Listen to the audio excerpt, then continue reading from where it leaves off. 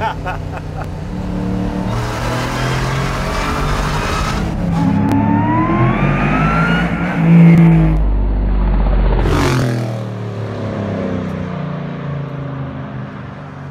to another episode of Jay Leno's Garage. Today we're featuring a car.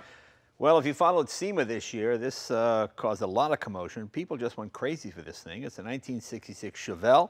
It's built by the Ring brothers out of Wisconsin. Now, not the Ringling brothers. Those are a bunch of clowns. They're dancing bears and all that. These are the guys without the, the bear on the tricycle. These are the guys that actually build cars. Let's meet uh, Jim and, and Mike. Come on in, guys.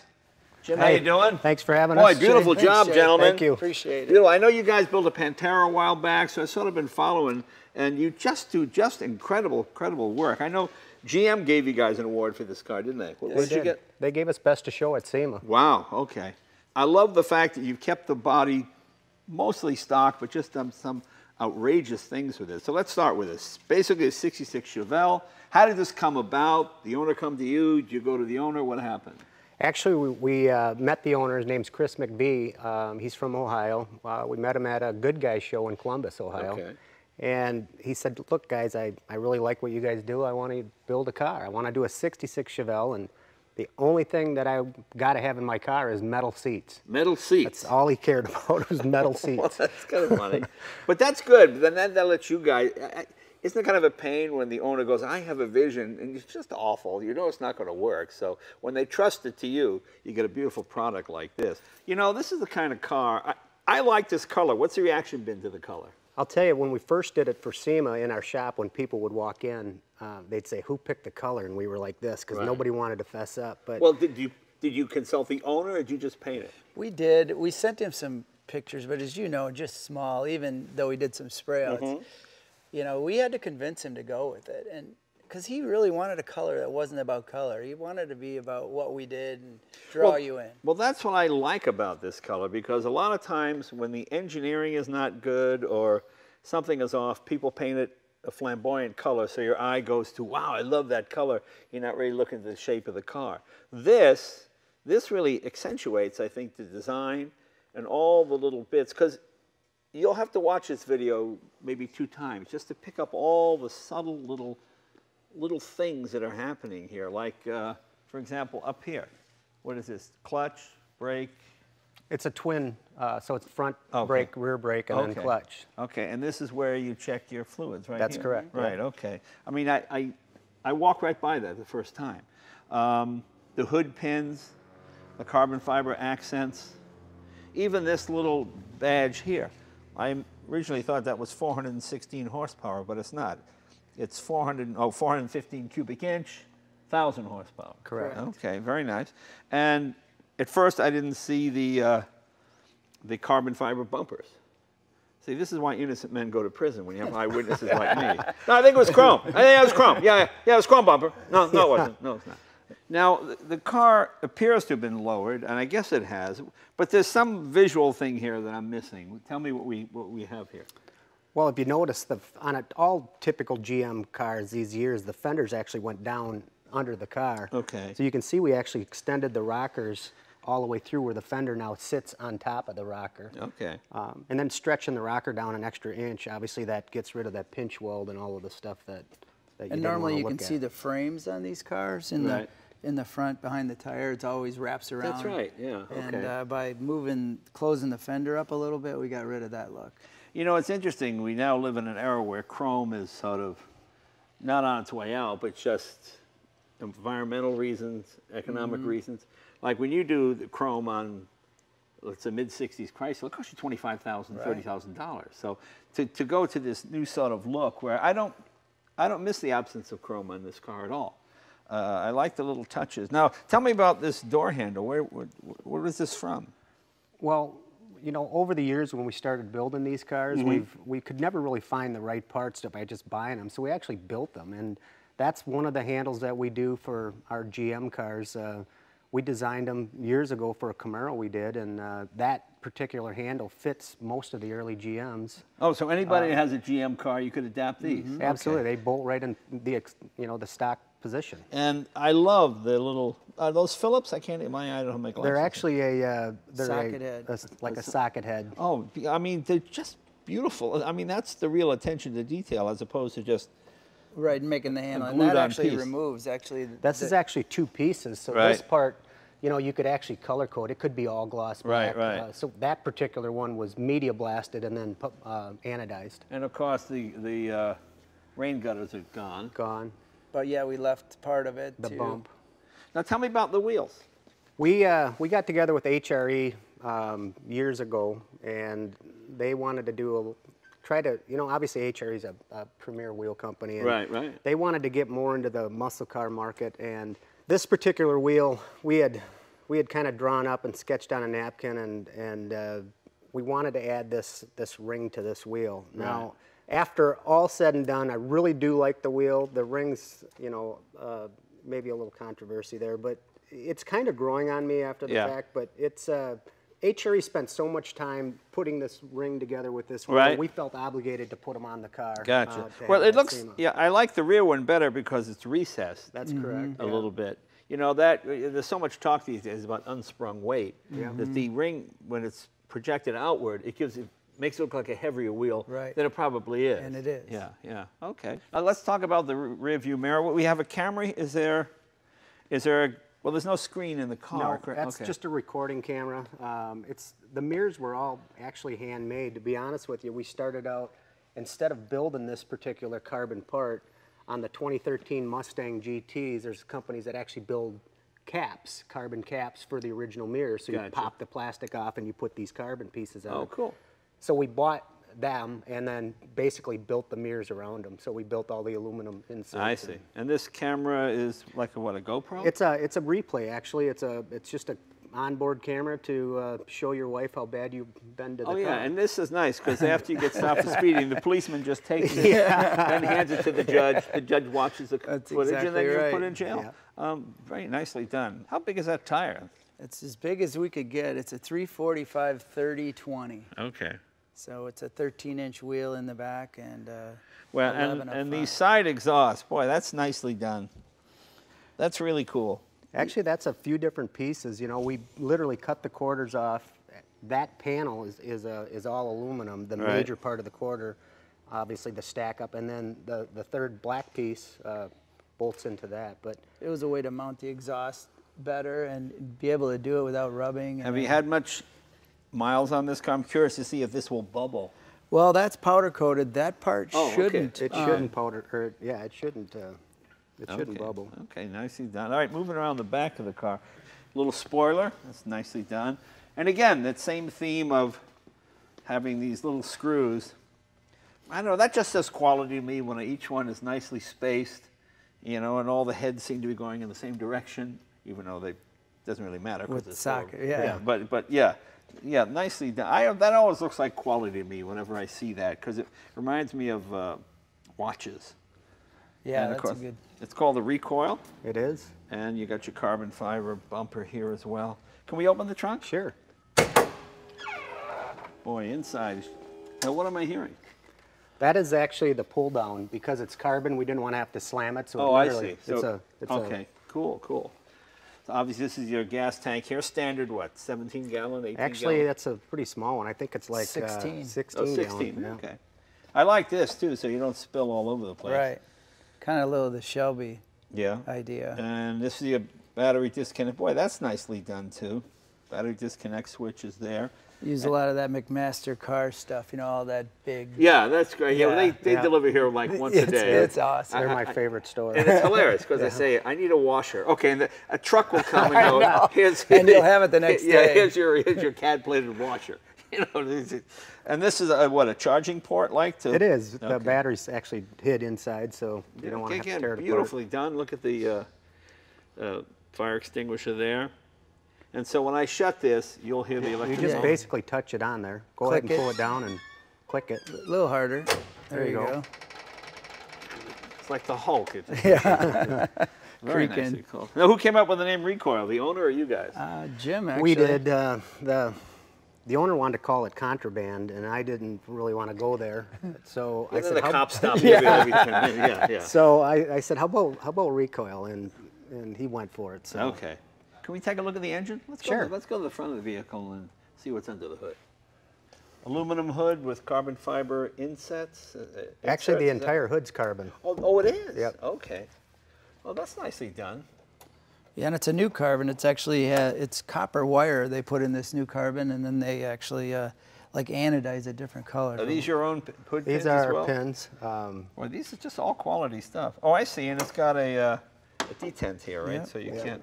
Well, our our hood pins are kind of interesting because most hood pins just had the straight hole through it. Right. Ours actually adjust to the angle of your hood, so they Oh, always okay. sit in the saddle the way they should. But Oh, nicely done, guys. So what do we have here? An L7 motor? This is a Wagner 416 LS7. Um, it's got a Whipple blower on it. Um, our Ring Brothers valve covers, which takes care of all the coils. Obviously, they're Right. kind of them LS motors always had them hanging out there. Runs on pump gas, or you Runs need... on 91 pump gas. Wow. Makes right at a right at a thousand horse, nine Jeez. 980. And this is uh, air cleaner cover? It is, you know, the it had a big old air cleaner hanging out there, and we didn't like the way it looked through the hood, so we wanted it to kind of come together as the hood was closed, and it kind of mimics the blower uh, ribs. Yeah, I see. I see that point. Jesus, just just beautiful work, guys. Well, and look at this hood. Just, just, God. Tell me about these pieces. Is this something you sell as well? We do. You know, years ago, we obviously we were big Mustang guys, and we wanted uh, them hinges were just so horrible. So we said, let's just design a hinge that works. So right. Well, see, that's why I like this color because I'm focusing on the build, and I'm not overwhelmed by the color. I, I don't really like the ones that hitch in the face. I like that subtle because this could pull in somewhere. What's that, Chevelle? And then oh, I, I like the little latches. little- Yeah, you can pop latches them. here. Just sort of you pop that out to change the air filter. now the the little pan in the bottom of the hood, I have to admit, was a, a Mistake. Where we looking? thought mistake. This this piece here. Oh yeah, I wonder why that was there. It's it's there because when the car was all done and assembled right before SEMA, we figured out that the Whipple stamp on top of the blower actually was just touching the bottom of the carbon hood. Right. And we were like, God, what are we gonna do? So we ground the Whipple off, thinking Yeah. that would take care of it. Well, it didn't. So then we were panicking, and we had to put an insert in the bottom of the hood to, to make enough clearance so it didn't rub. But I think that's great. God, it, it's amazing. Just and you all all done in house, huh? we do everything in house. Um, the interior, we get some help outside, but everything. Not else, much on this. There's more bolts than than stitches inside that car. Because everybody thinks, you know, you got to be in LA or New York or these major markets where all the suppliers are. And you guys are just about the middle of the country, as far away from Middle of the cornfield in Wisconsin. Yeah. Let's go to the interior of the car. Now, why did the uh, owner want uh, metal seats? Has he spent time in the electric chair? I mean, what was the what was, what was the reason for that? I think he just wanted the simplicity, you know, of even though there's a lot going on, it's just very simple. It doesn't look like any metal seat I've ever seen because not being a designer myself, I would have thought, well, I'll get some kind of metal chair and perforate it like the old Ford GT and put it in. But you've, this looks like it hangs in a cradle, sort of, but it doesn't. You have this outer piece here that holds your roll bar, and then your your seat in here. Okay, very We cool. tried to make the seat really the leather portions of the seat in only areas where it actually touches your body. That was kind of the idea. easy enough to get into. Just kind of fall into it here. And uh, yeah, it, I, you'd think the seat would be uncomfortable, but it's not. And this is adjustable, right? Right It here? is. Right here. Oh, I see. Yeah, just Pull it forward, yeah. yeah. There you go. You probably are. Can Probably you move to the come I have up, something huh? against tilt wheel. I don't know. To me, it always should be straight ahead. You know, whenever I see a 32 Ford or something with the tilt wheel, it always looks weird to me because I just like a regular steering column. Uh, very nicely done. Let me move my mic here. Okay, let's. What is the transmission? We haven't discussed that. It's a six-speed. What, what make? Uh, Tremec. Oh, Tremec. Okay, Yep. that's what we use. The Yep. Tremec's are unbelievable. Yep. It's uh, I'll tell you what, it shifts really nice. That's a Yeah. nice shift in transmission. And I like the fact that the owner chose to go with a manual transmission. Uh, let's look at those door handles. Now, this is what these are bicycle. Uh, Yeah, it's a They are. mountain bike handle. huh? Very cool.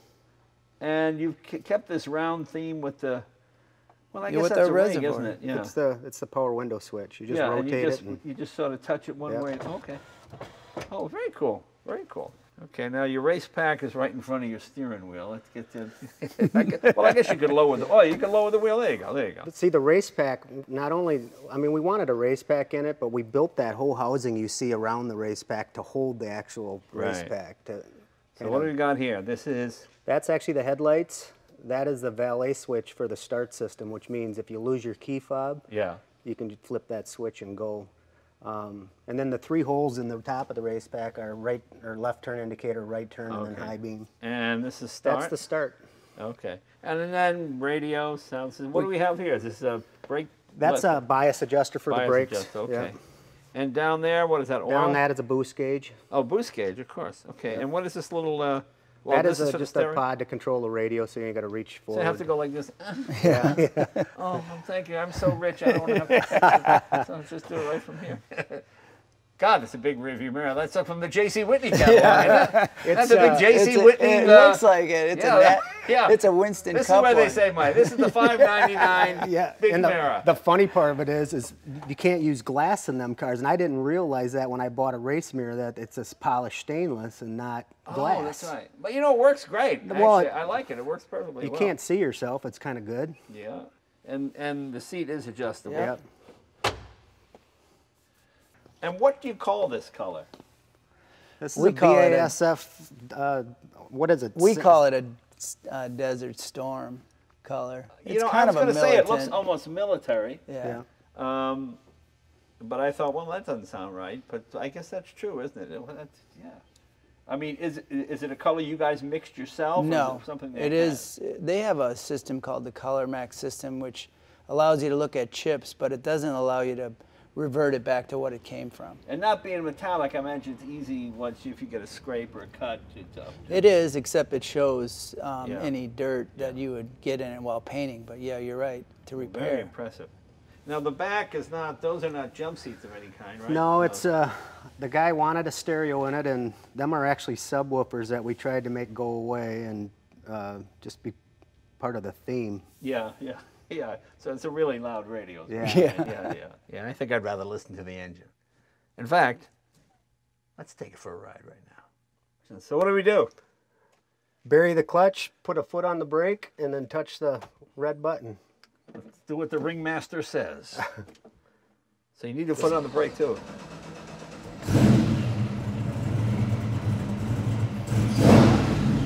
Sounds good.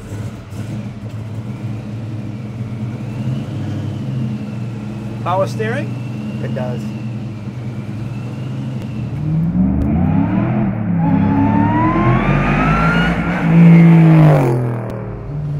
What's the rear end ratio on it, you know? This has got a 411. It's, Oh, it does. it's too tall. Pulls good. There's that long pull. There, it starts pulling there. Yeah, funny, we always to think the 454 Chevelle, all those cars are so fast. Whereas this just, uh, just dust them. I mean, Eats their lunch. man, that pulls hard. Man, it pulls- Yeah, first gear is useless. wow, that's really amazing for second gear. Yeah. Because I expected a bit of a lag, and then you know, Third gear is even more impressive. yeah, yeah. Right here's a good third gear spot.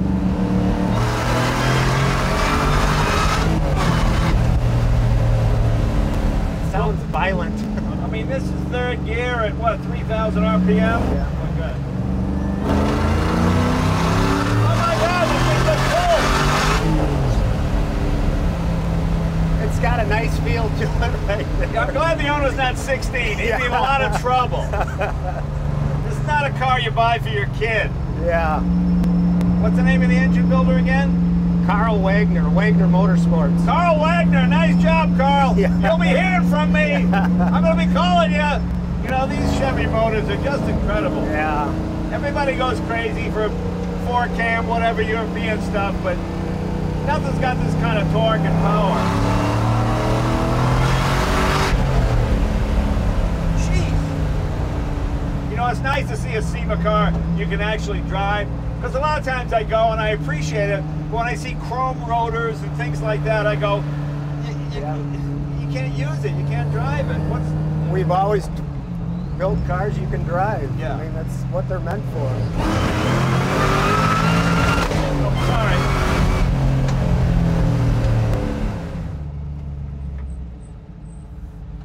First gear is so short on this thing that you, you, you get nothing but wheel spin, but it's just the power is just unbelievable.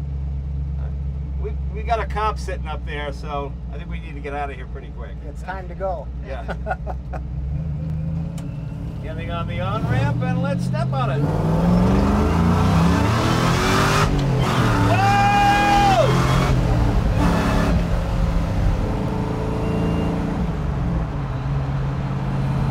You're the first guy to ever put this in sixth gear. There you go.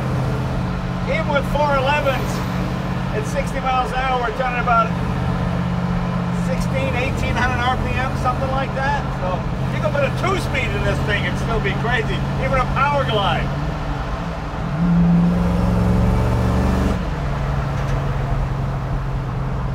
Nice and stiff, but not uncomfortably so. It's firm. Steering is very nice. The only thing I think I would change is maybe the brake master cylinder, because it takes a lot of pressure to stop. It just takes the slightest touch to make this thing go crazy, but you need a lot of pressure. You, got- you you only almost need like both feet on the brake. It's amazing how it takes that little bit to start building that boost, and then it really just wants to propel you. I know. It's that long pull third gear. Oh! You get a lot of trouble with this car. You know, I drive cars all the time where people say, "Oh, it has 800 horse." Oh, yeah, and you go, "Yeah, okay." And then you go and you go, "That feels like 450, 500." This feels like a thousand.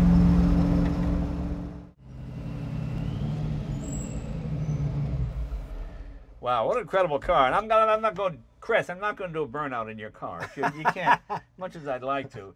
This thing's got such incredible power. But you know, it's fun to see a, a SEMA car, a show car, a concept car that you can actually drive on the street. You know, because when we finish car, and we take it out for the first time. We heating issues, brakes. There's always something. Uh, well, I guess our only complaint, not even complaint, would be a little more pressure in the master cylinder. Right? We need that. Yep. Uh, but heating, everything, nothing rattles, nothing bangs, handles incredibly well. And geez, it's fast. But I would probably go, what, 323, 355? 355 would be a good gear. I mean, that first gear is so short. You're, you're, you're out of first gear before you even let the clutch out almost. So, but geez, it just pulls so hard. I want to thank uh, Jim. Jim, thank you. Thank you, Jay. Thanks Mike, for thank you very us. much, Yeah, guys. thank He's uh he's ring boys up there in uh, Wisconsin. Man, I tell you them bib overalls, they build good cars. Yeah. So nice job, guys. Really impressive. Really impressive. And congratulations on winning the awards at SEMA. It's Thank it's you. really it's really keep an eye on these guys. They do do great stuff. And all your stuff is available, right? All the, It is. If you you know go to their website and all their stuff is available. And uh, I got to order some of this stuff. See you guys next week.